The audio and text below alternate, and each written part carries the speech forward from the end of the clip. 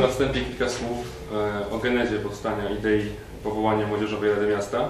E, Idea ta narodziła się w Stowarzyszeniu Młodzi Demokraci jesienią ubiegłego roku.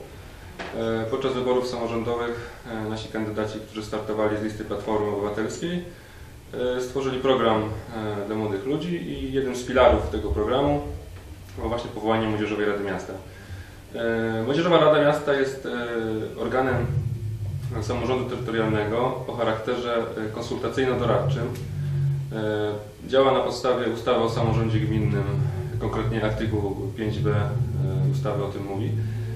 Obecnie w, Polsce działa około 200 e, młodzieżowych rad gmin, zarówno w małych miastach jak Wejherowo czy, Czep, w miastach wojewódzkich jak Lublin, Poznań, Katowice, Wrocław czy Szczecin, a także w stolicy w Warszawie, zarówno na poziomie warszawskich rad dzielnic, jak i przy Radzie Miasta Stołecznego Warszawy. E, Teraz krótko wymienię najważniejsze, e, najważniejsze korzyści z powołania Młodzieżowej Rady Miasta. Przede wszystkim jest to e, chęć aktywizowania młodych ludzi do działalności publicznej, do działalności społecznej. E, Zachęcenie młodych ludzi do e, wzięcia współodpowiedzialności, takiego współuczestnictwa w tworzeniu naszej, naszej, naszego lokalnego otoczenia. E, Ponadto Młodzieżowe Rady Miasta e, kształtują e, postawy obywatelskie wśród młodych ludzi, zachęcają ich do udziału w wyborach, do aktywnego uczestnictwa w życiu, w życiu publicznym. Młodzieżowe Rady Miasta są także, spra- sprawiają także, że podnosi się poziom wiedzy młodzieży o, o samorządzie generalnie. Młodzi ludzie obecnie mało interesują się, się sprawami samorządowymi, nie, nie znają kompetencji Rady, prezydenta, nie znają radnych, nie wiedzą ile, ile Rada ma, ma, ma członków.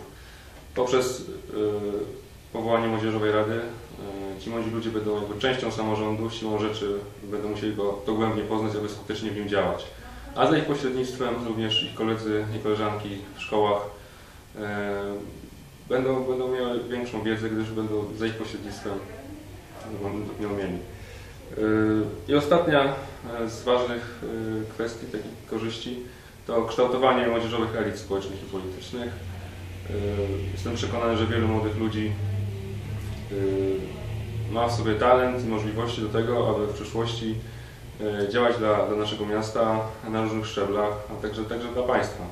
Klub Radnej Platformy Obywatelskiej e, przygotował e, wspólnie z Stowarzyszeniem Młodzi Demokraci e, właśnie z Wojtkiem Gieliatowiczem i z Mariuszem Jagłowskim projekt statutu Młodzieżowej Rady Miasta, który chcemy zaproponować. Radny jest to osoba wybierana w każdej szkole gimnazjalnej i ponadgimnazjalnej na terenie gminy Gdynia. Takich szkół wstępnie robiliśmy listę, byłoby około 50, czyli całościowy skład rady liczyłby 50 radnych. Cała rada wybiera prezydium, które nadzoruje jej pracę. Jest to przewodniczący, sekretarz oraz trzech wiceprzewodniczących. E, Moc uchwałodawczą mm, do złożenia projektu uchwały ma 10 radnych. Tak założyliśmy w statucie. Jeśli chodzi o same wybory, jednym obwodem głosowania jest jedna szkoła. Wybory są tajne i większościowe. E, Maksymalny próg wieku do momentu, kiedy zostaje się radnym, to jest 20 lat. E, Niestety, jeśli jest się starszym, już nie można być członkiem Młodzieżowej Rady Miasta Gdyni w naszym projekcie. Jeśli chodzi o główne założenia, jak Rada ma pracować, to oprócz tego, co wspomniał Łukasz, czyli tworzenie elit, szerzenie idei samorządu, jest to również współpraca z innymi organizacjami młodzieżowymi na terenie gminy, całej Polski oraz również wewnątrz Unii Europejskiej i nie tylko. E, Jest to opiniowanie uchwał Rady Miasta dotykających praw młodych ludzi, ale również e, wszystkich innych uchwał Rady Miasta, ponieważ młody człowiek, jak osoba dorosła, jest takim samym obywatelem i jego budowa nowej drogi, kanalizacji czy wycinka drzew dotyka dokładnie tak samo. E, Rada ma prawo do przedstawiania swojej opinii prezydentowi miasta Gdyni we wszystkich sprawach dotyczących samorządu lokalnego. Mm, Oprócz tego raz na 6 miesięcy e, Rada ma, przedstawiciel Rady Młodzieżowej ma prawo wystąpić na sesji Rady Miasta, zdać sprawozdanie z jej pracy, co jakby bardzo mocno wbudowuje tą całą Radę w samorząd lokalny jako jednostkę pomocniczą.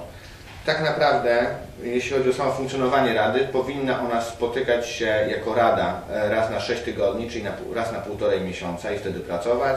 Oczywiście prezydium, czyli ten pięcioosobowy skład, który tak naprawdę przygotowuje wszystkie e, materiały, e, przyjmuje projekty uchwał składane przez osoby z Rady, powinien się spotkać raz na miesiąc. I wtedy wszystko przygotowywać. Obsługę techniczną całej Rady założyliśmy w projekcie pełni Biuro Rady Miasta, czyli podobnie jak radni, młodzieżowi radni również mieliby zapewnione e, pomoc, jeśli chodzi o chociażby o samą obsługę techniczną, przygotowanie tej sesji. To chyba tyle, jeśli chodzi o sprawne funkcjonowanie w skrócie. Jest to bardzo ważne.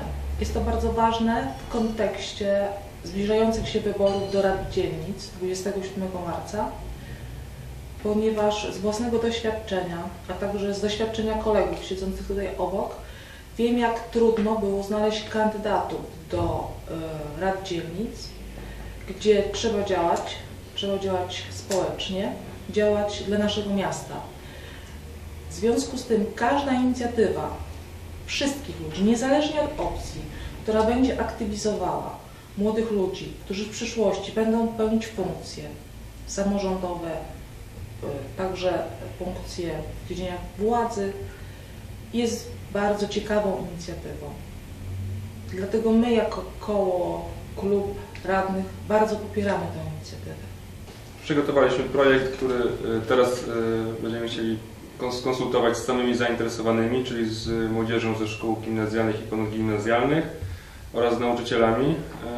Jest to taki jeden z takich wymogów takiego dobrego obyczaju powoływania takich rad, aby sami zainteresowani wykazali jakby chęć y, do, do, do istnienia takiej rady. Y, Przeprowadzimy także konsultacje, znaczy będziemy namawiać do konsultacji również wszystkich radnych miasta. I liczymy na to, że ten projekt nas połączy, e, a nie, nie podzieli, e, że wspólnie pokażemy młodym ludziom, damy dobry przykład, że w ich sprawie potrafimy działać razem i skutecznie wdrażać dobrze dla nich rozwiązania.